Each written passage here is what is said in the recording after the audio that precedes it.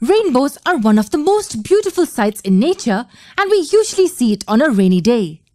But you will be surprised to know that you can even see it on sunny days if you're near waterfalls or fountains. So what is really required for the rainbow to be formed?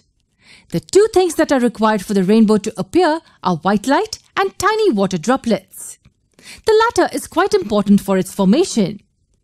In the rainy season, many water droplets are present in our atmosphere and hence we mostly see the rainbow in this season. Okay, so how do these two combine together to form a rainbow? Well, the formation of the rainbow results from the simplest of optical phenomena known as refraction and total internal reflection. Yes, among these two, we know quite a lot about refraction of light. Okay, so let's see how sunlight and droplets interact with each other.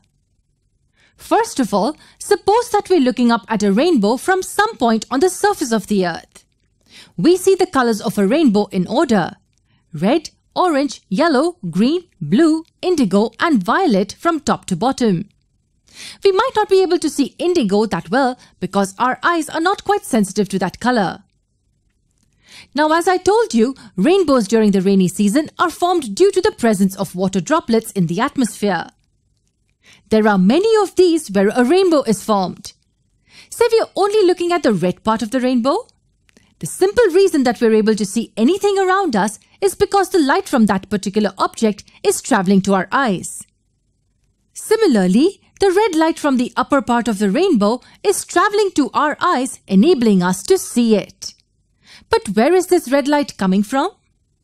In order to understand this, let's consider a single water droplet from this red region and suppose the white sunlight is incident at this point on it. The angle at which the light is incident is very important and I will tell you why in a little while. It will reflect some of the light at the boundary and refract some of it. The reflected light is white light again and it's going away from our eyes. So we ignore this as this light does not help in forming rainbows.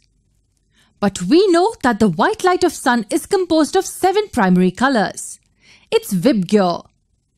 And we also know that the prism will break this white light into its constituent colors when allowed to pass through it. A water droplet behaves exactly like a prism. It disperses the white sunlight at the entry point.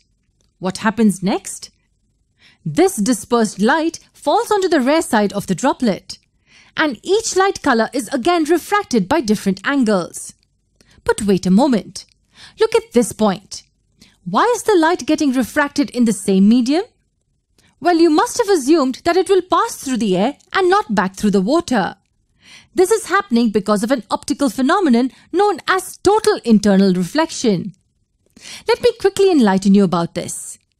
We know when the light travels from an optically denser to an optically rarer medium, it bends away from the normal. And greater the angle of incidence, greater will be the angle of refraction. But here's the interesting part. There is some angle called the critical angle at which the refracted ray will be perpendicular to the normal line. That's right. At this angle of incidence, we can see that the refracted ray is perpendicular to the normal. And if I further increase the angle of incidence, then the refracted ray will now travel through the incident medium. So if you notice, the ray is actually reflecting in the same medium. The same thing happens here in a water droplet as well. This angle of incidence at this surface for each colored light is such that they all bend in the same medium. So these different colored rays are now at the air-water interface again for the third time.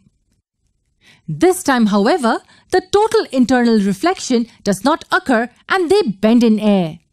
But notice that all the colors in air are now separated by quite an amount. The three refractions create the larger gap between these colors. All the droplets in this red portion of the rainbow behave in the same way. But wait a moment. These droplets are refracting the light of all colors. Then why are we able to see only the red color in this region of the rainbow? This is because only the red color from this region reaches our eyes. All the other colors are refracted at such a large angle that they do not reach our eyes on the ground. Same thing happens for the remaining regions of a rainbow as well. For instance, droplets present in the violet region also send the light back in the same way. But only the violet color reaches us and the remaining colors are not visible. I hope that you now have a basic understanding of how a rainbow forms in the sky. We will come up with more interesting topics in our future videos. So don't forget to tune in